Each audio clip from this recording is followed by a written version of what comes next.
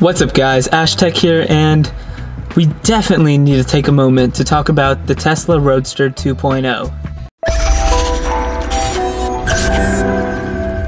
So last night, as many of you guys know, if you're a tech person or you just followed the news, Tesla had an event. And this event was so that they could unveil the new Tesla semi-truck, which we all knew was coming. That's what we expected. So we got our first look at it. Elon himself drove it up onto the stage, hopped out, and it seems like there's two different versions of it. There's a space gray when they pulled it up on stage that seemed to be the smaller version, and there was a much larger version, which is definitely the two sizes that they're gonna have going. 500 mile range, 0 to 65 seconds with no load. Keep in mind that is with no load, so if you do have a load, it's 0 to 60 in 20 seconds with an 80,000 pound load. That's a lot of weight and that's a really quick response. It will recharge to 400 miles in about 30 minutes, has a single seat middle console with two Tesla sized screens on either side, autopilot, and a ton of other awesome features. And unfortunately, none of them really apply to me, to most people, because I'm not a truck driver, so I'm probably never gonna get to sit in one. Anyway, so that was the main purpose of this event. But then, when everyone thought it was over, when the lights dimmed, they came back on stage, the music started playing, and it was kind of a classic one more thing kind of reveal.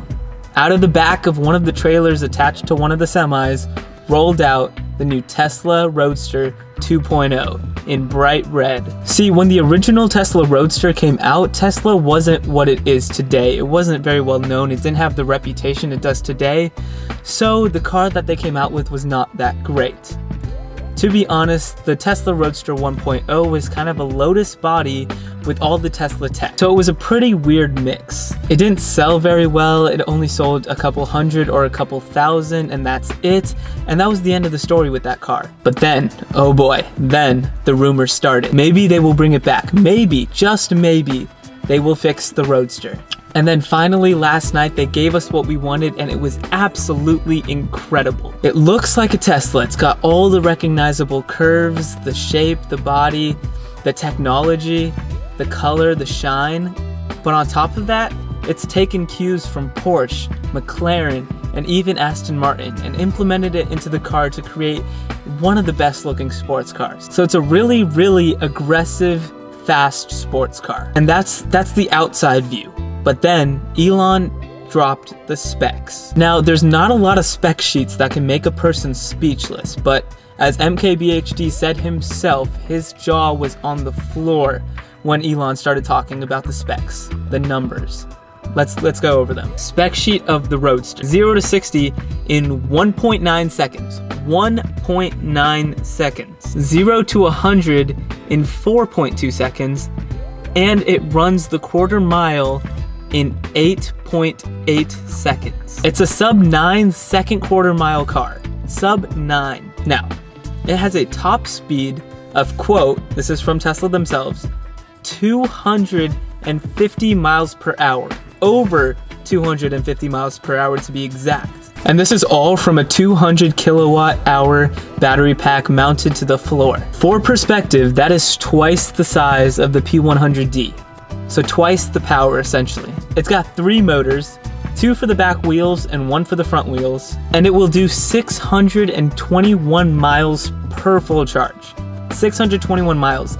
That's about over 1,000 kilometers. That is the first electric car to be able to go over a thousand kilometers on a single charge. So with all these specs and just generally looking at the car itself, we are in hypercar territory. This car, this Roadster, doesn't even sound remotely street legal. In fact, a lot of the cars on the list of the top production 0 to 60 time cars have a 0 to 60 of 2.5 seconds, 2.4 at the best.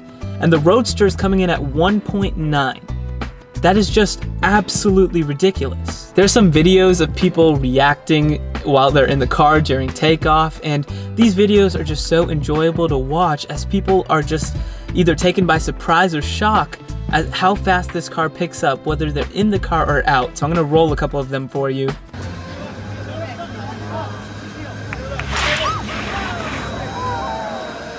Three, yep. two, one. Oh, Jesus.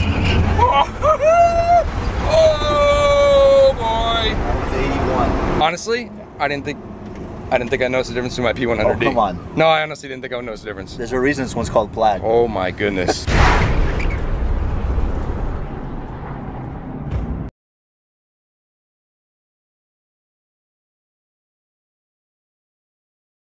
I cannot wait, I cannot absolutely wait for channels like Motor Trend to put this car up against some other supercars and see how it performs on the track. So hopefully we will get to see that in the year 2020. So ideally this car is projected by Elon to come out in the year 2020, around the beginning of the year hopefully. And there's gonna be a Founder Series version and the normal base series version.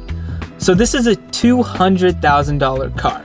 Now that may seem like a lot, but when you think about all the specs you're getting and the cars that this has been compared to, this is being compared to multi-million dollar cars and you're getting a lot more for $200,000. So that's actually pretty reasonable. The Founder Series itself will be $250,000 and Tesla will only produce 1,000 of those cars. So if you're looking for a Founder Series, you better put in your request now. There's currently a reserve button for these cars on Tesla's website, right there.